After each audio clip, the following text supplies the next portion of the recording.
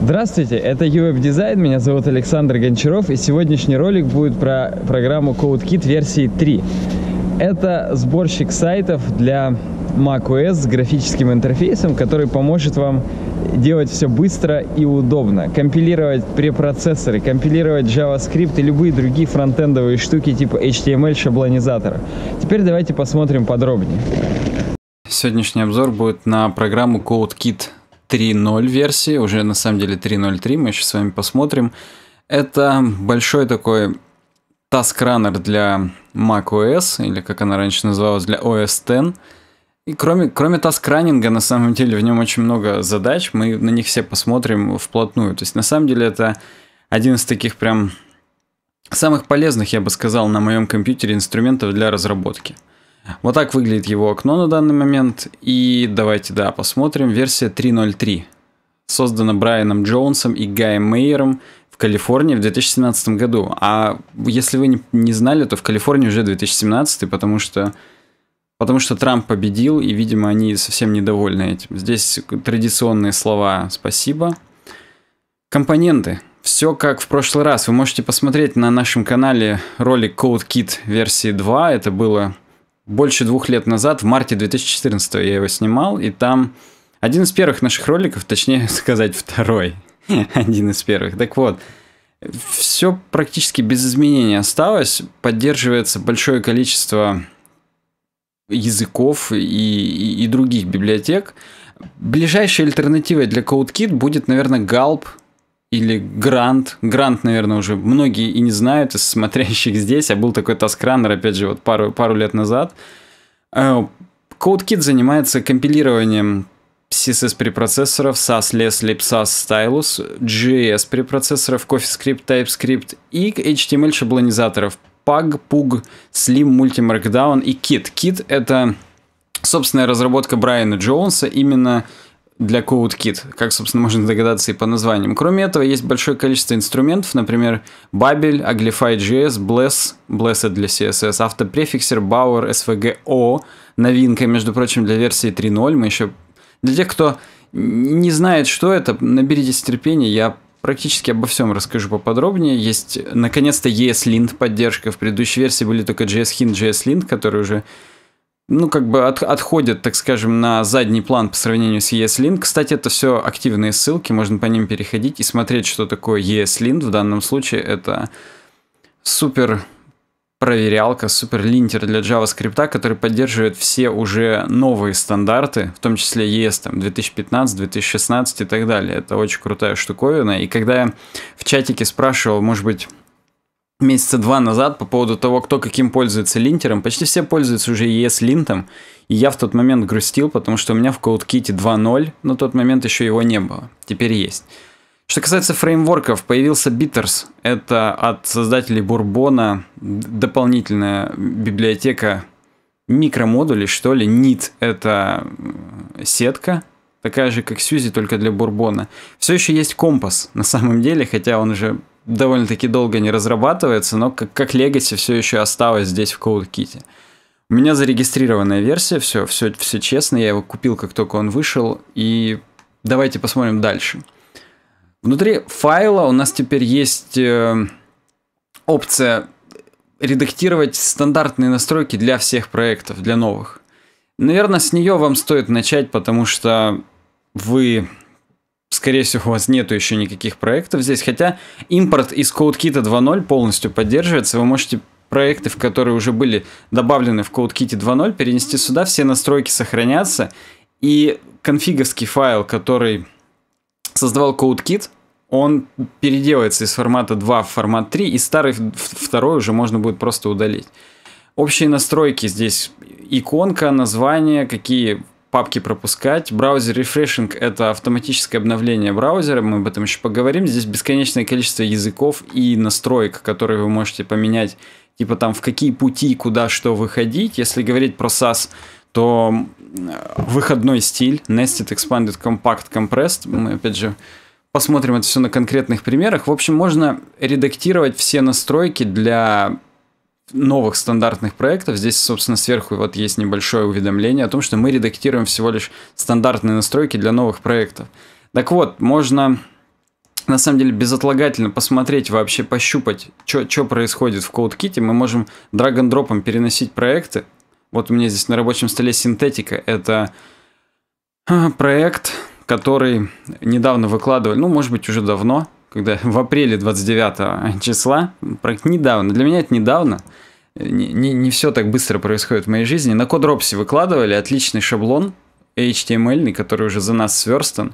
И, как вы видите, я просто, ну, как бы я посчитал нужным показать это для, для того, чтобы не говорить, что это, это я сделал, там, туда-сюда, и все, все как положено. Синтетика, здесь есть исходные файлы SCSS, поэтому я подумал потренироваться именно на нем, просто потому что мы можем что-то поменять руками, посмотреть, как будет себя вести проект.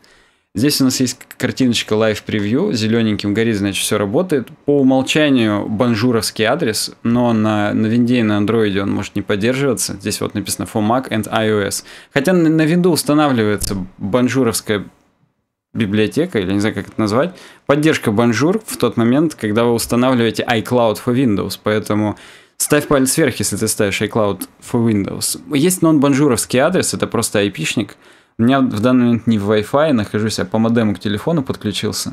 Поэтому здесь IP-шник, который мне выдал телефон, но на самом деле здесь просто ваша локальная сеть, и все это будет по этой сети и доступно.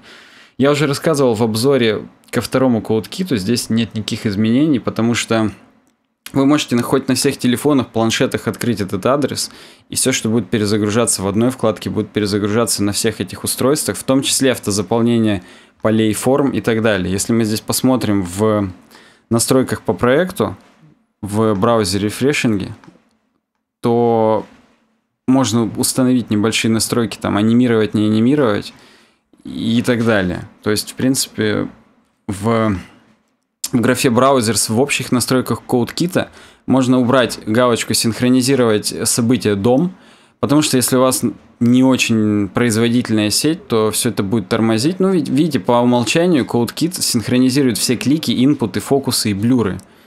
То есть, на самом деле, достаточно серьезно. Можно даже синхронизировать key down, key up, но здесь подписано, что они очень часто срабатывают, поэтому прям надо это. Только в те моменты, когда вам это конкретно нужно, включайте – а по умолчанию, по умолчанию держите выключенным. Non-bonjour адреса для любого устройства, чтобы IP-шник по умолчанию прослушивался, можно здесь тоже указывать. Давайте посмотрим в превью, как у нас выглядит этот синтетика или да, синтетика. Э, от, откликается по адресу Alex2 Local, это название моего компьютера. Я даже уже не помню, почему 2, но, э, видимо, так. И теперь я сейчас открою отдельно в брекете наш новый проект, просто потому что посмотрим, как в прямом эфире это все будет меняться, синтетика.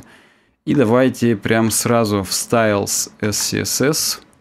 Я не знаю. Ничего умнее, чем поменять цвет, мне не, не приходит в голову. Так, файл to import not found or unreadable.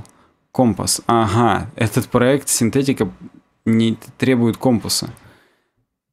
Не, неудачный я пример выбрал, но хотя бы прорекламировал, что на Кодропсе бывает такое, у меня сейчас не составит труда добавить проект CodeKit Test, который я уже создал заранее для того, чтобы просто посмотреть вообще, что может CodeKit из коробки, а он достаточно много может, и сейчас я его сюда тоже перенесу.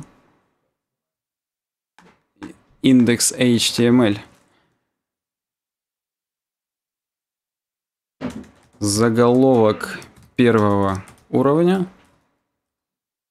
В прямом эфире здесь все это появляется после перезагрузки. И в данный момент, если я вставил CSS, напишу, что я хочу, чтобы H1 у меня был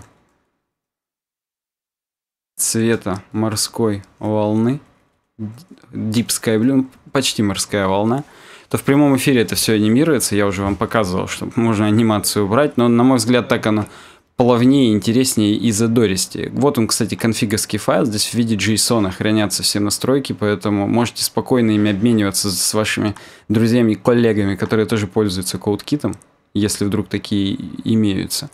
Но вот в прямом эфире это все перезагружается. Кроме этого, CodeKit поддерживает подгрузку из Bower. То есть на, на данный момент у меня в проекте нету jQuery, но я могу ее спокойно загрузить, найдя ее здесь в фейворитсах. Кстати, фейворитсы, они по умолчанию установлены Брайаном. Вот именно такие Foundation, Backbone, Bootstrap, Animate, CSS, которые, которые часто используются. Вы можете их добавить сами. Здесь вот у меня лог, в Bower Components установлен jQuery. Отлично.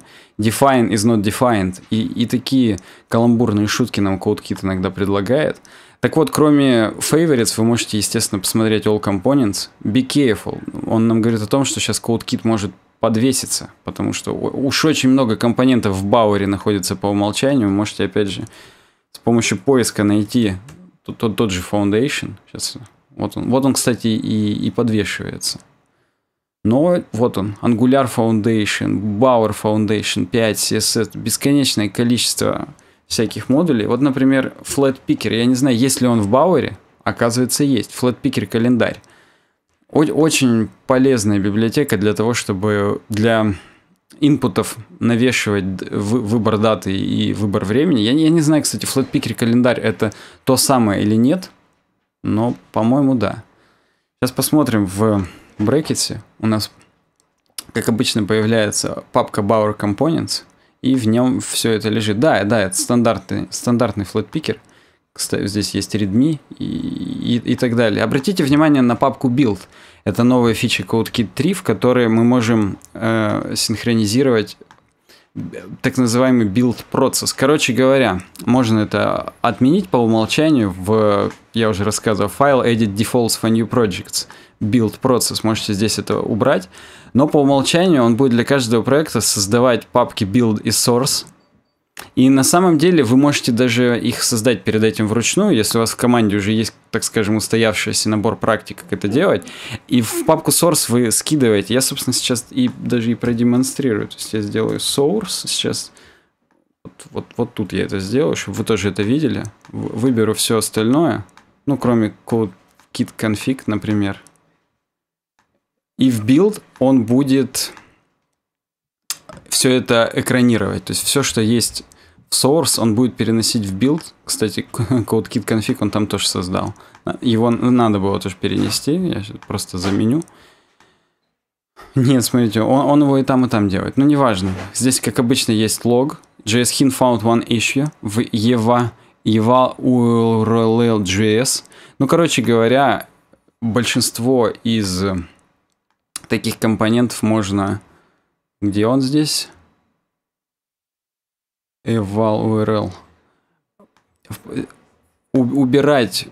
Так, так, так, так, так, так. Bower JSON. jQuery JS option.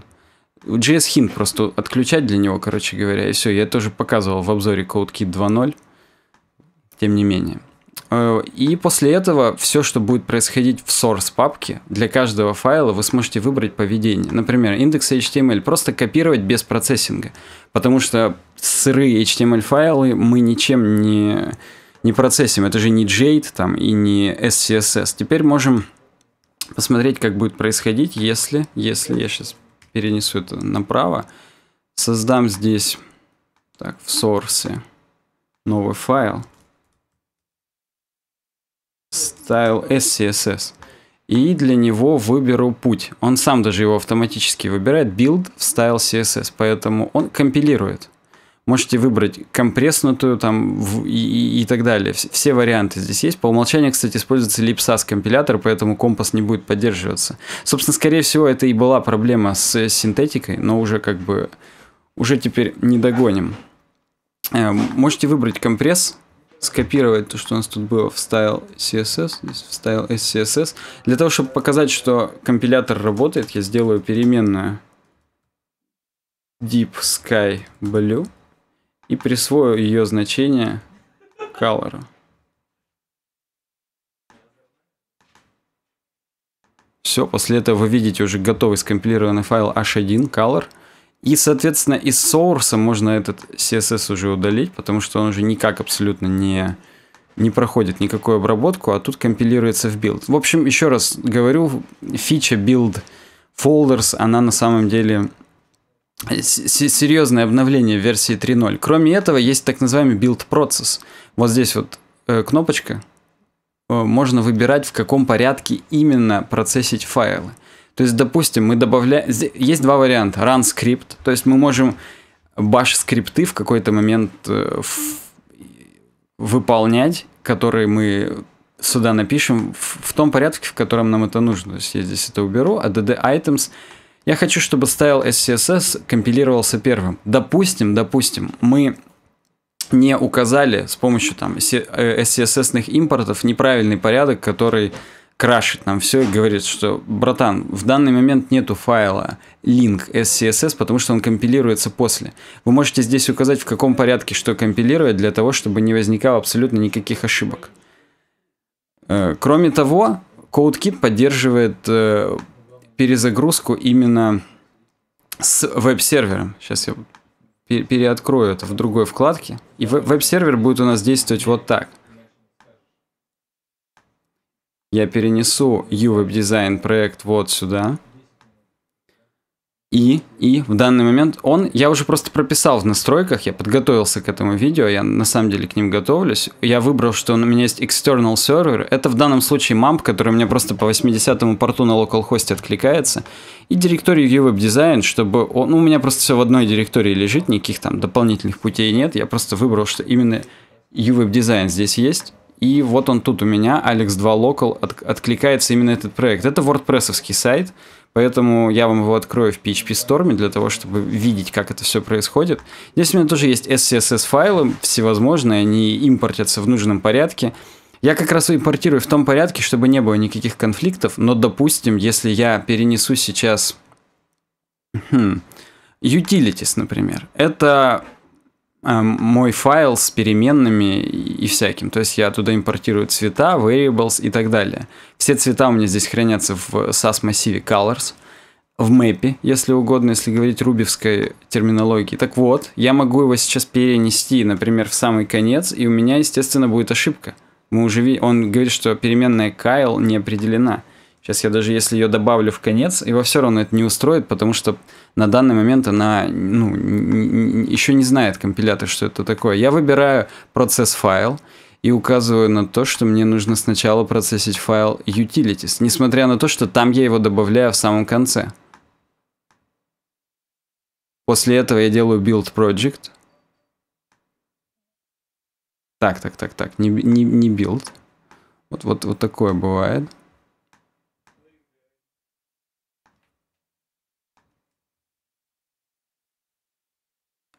И никаких ошибок не возникает. Вы видели, что у меня перезагрузилась здесь все вкладка. Я, кстати, сейчас включу уведомления, чтобы вы видели, CodeKit их на самом деле использует, и здесь всплывает то, что сайт обновлен. Таким образом, можно выстраивать вот эту вот цепочку абсолютно любым способом, который понятен в нашей команде, хотя на самом деле значительно правильнее будет выставлять это все сразу в правильном порядке, но как бы то ни было, есть способы, которыми можно выкрутиться из ситуации. Также в CodeKit есть поддержка Uglify.js, то есть мы можем файлы друг с другом скреплять и выдавать один большой финальный. Можно использовать э, графический интерфейс, я сейчас CodeKit перенесу вправо, покажу, как это делается. Uh, Design Genesis, JS, UWebDesign.js. Вы здесь видите, что внутри есть linked файл Scholar Thief.js. Ну и вот так это, вы можете просто переносить это сюда, и они потом будут в финальном мини-файнутом файле. В данном случае UWebDesign Genesis, JS min, UWebDesign min.js. Uh, меня likely.js не интересует, color thief есть. InFile здесь пометочка, это показывает о том, что я его добавляю с помощью директивы CodeKit prepend, которую я убираю в э, комментарии для того, чтобы компилятор или там линтер не ругался на самом деле, потому что по умолчанию JS-hint понятия не имеет, что такое CodeKit prepend. Кстати, можно выбрать ESLint. Неважно. Здесь есть щит, который, например, позволяет нам проигнорировать файлы, которые не наши. То есть Color Thief.js это библиотека, там, я, я не помню имя автора, но этот чувак сделал библиотеку как раз для того, чтобы у нас на сайте при загрузке страницы э, парсилась картинка, из нее брался основной цвет и самый светлый цвет, и вот этот вот фон делался для заголовка. Так вот, я не ручаюсь за код, который там есть, поэтому, чтобы мне каждый раз ошибки не валились от линтера, что там что-нибудь не объявлено, я могу просто на щит нажать, и этот файл, чтобы никак не фигурировал абсолютно. То есть вот это вот называется комбинирование скриптовых файлов с помощью директивы CodeKit prepend. На самом деле есть кроме prepend еще append, и порядок, он важен. То есть, если я здесь еще добавлю дальше, то, во-первых, он мне сейчас показывает о том, что Color Thief увидел как раз ошибки в... Это, точнее, JS Hint увидел ошибки. Меня они как... Вот он, вы видите, append to this file. Делаем так. И он нам уже не показывает никаких ошибок. То есть это то, то о чем я и говорил.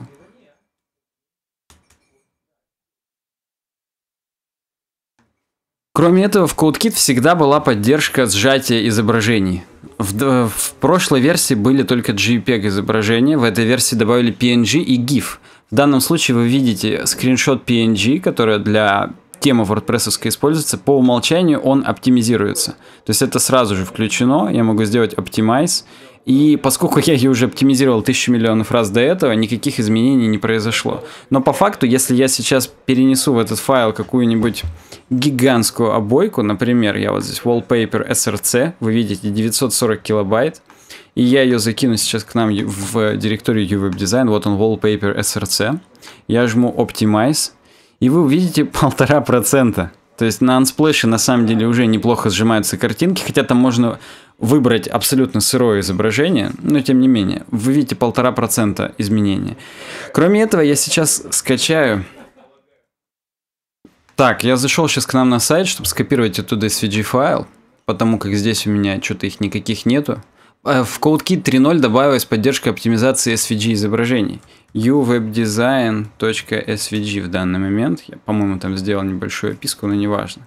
Вот он, SVG. Мы заходим в CodeKit по умолчанию, по умолчанию, копи. У нас SVG оптимизация не включена. Если я здесь выберу Optimize, у меня есть большое количество настроек SVG-O. Это open source библиотека по оптимизации SVG файлов. Я могу выбрать здесь абсолютно все, то есть максимальное сжатие. Давайте посмотрим. По-моему, там уже и так довольно сжатый файл, но по попробуем выжать из него максимум. Э, здесь, кстати, так, ну-ка интересно, в логах написано, сжал он его или не сжал. Optimize successfully, 0%. Причем даже одну тысячную килобайта добавил. Но я его сжал перед этим. Так нечестно. Но вы поняли меня. SVGO, он, он работает безотказно, и наконец-то его поддержка добавлена в CodeKit. Это, это была, кстати, одна из самых таких запрашиваемых фич, поэтому да. Давайте вернемся к CodeKit тесту, а именно к CSS файлу. Так, сейчас мне его надо в брекетсах открыть и переместить влево. Так вот, есть поддержка автопрефиксера, как вы могли догадаться в CodeKit. Она, собственно, была и до этого, но как бы на самом деле я не очень даже это поддерживаю, тем не менее. Например, border radius. Когда-то давным-давно это свойство требовало, э, требовало вендорных префиксов. Как вы видите, по умолчанию нет. Если мы зайдем в настройки, а я вас призываю, после того, как вы посмотрите это видео, вы можете зайти в настройки каждого абсолютно раздела, и тут бесконечное множество вариантов. Прям вот посмотрите, здесь все можно настроить под вашу конкретную команду. Так вот, здесь есть э, а, свойство автопрефиксера и ссылка даже на документацию для того, чтобы мы сейчас взяли какой-нибудь супер старую какой-нибудь вариант. Я не знаю, здесь будет ли это где-то сразу же на поверхности, возможно и нет. JavaScript Warnings Options. Вот. И Е7, например. Вот, вот, вот это меня вполне устраивает. Так. Наверное, наверное, только вот, вот это мне нужно здесь сделать. И пересохранить. Я даже для верности добавлю 4 пикселя. Compile with this uh, unknown browser query больше 1%. На самом деле должно быть все круто. Возможно, я лишние кавычки оставил. Сейчас давайте посмотрим. Да, я оставил лишние кавычки. И E7. И теперь 3 пикселя. Compile successfully. Что ж такое? Больше 1% его... Подождите. Ну, я не очень силен в автопрефиксере, но я тут смог за кадром наконец-то выяснить. Если я поставлю, например, Firefox меньше либо равен 20, то в данном случае требуется э, префикс moz для border radius. То есть вы поняли, если вы специалист по post CSS или по автопрефиксеру в частности, то вы отлично знаете все эти флаги, все эти э, настройки. Вы можете это сюда вписать и будет отлично работать. Э, что касается языка Kit, я как уже говорил, это HTML препроцессор, или может быть HTML шаблонизатор, я не знаю, как вам больше нравится.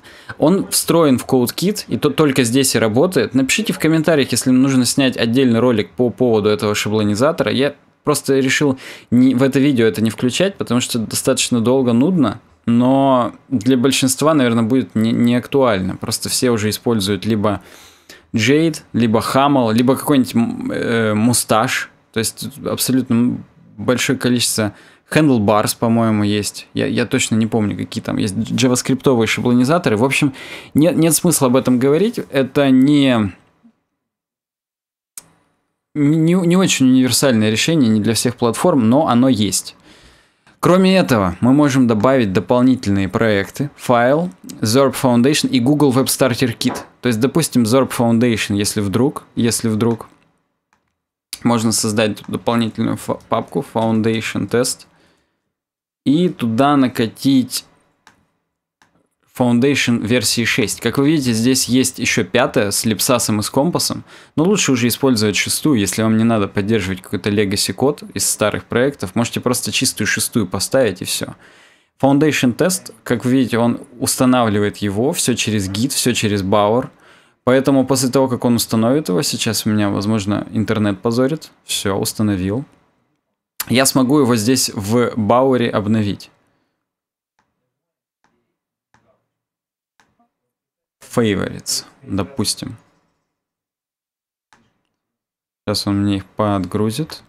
Ну тут, тут с интернетом на самом деле проблема, поэтому... А вот да, все в данный момент обновлены. С what инпутом какая-то проблема с Бауэром. То есть даже Брайан в своих видео, в которые были, так скажем, трейлерные видео для CodeKit, он сказал, что почему-то работает именно так, только с версии 2.0.1. Но, в общем, суть такая. Вы можете, кстати, поставить здесь фейвориты для для себя, они будут синхронизироваться с настройками общими CodeKit. Здесь, кстати, есть краткое описание, можно добавлять и так далее. То есть здесь полнофункциональный бауэр на самом деле. Ну так вот, если говорить про Foundation тест, мы посмотрим сразу превью, то здесь вы видите простой чистый шестой Foundation и, ну то есть на самом деле всего лишь так скажем, приятное дополнение, если вдруг вы работаете с этими фреймворками, то прямо из CodeKit вы сможете их создать и, и все. Ну и напоследок скажу, что для любителей там, ECMAScript 6, ECMAScript 2015 в CodeKit есть э, уже поддержка Babel, его очень сильно просили.